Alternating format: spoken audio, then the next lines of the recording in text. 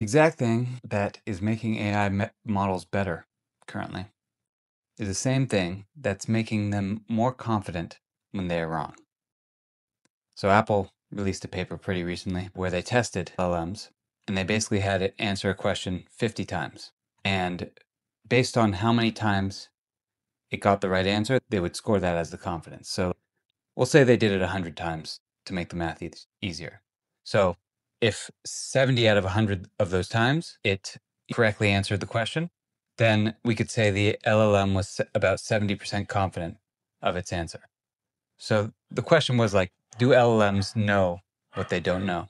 The answer to that is everything we've done to make them better has made them worse at this. Before they were fine tuned, they did really well on this task. And after they were fine tuned, they were hyper confident. So this goes back to my no free lunch theorem. There are no things that we're doing to the models now that don't come with huge trade offs.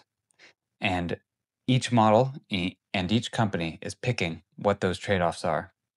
And it's going to be interesting to see how we continue to push these models forward in some ways and what they lose as a result.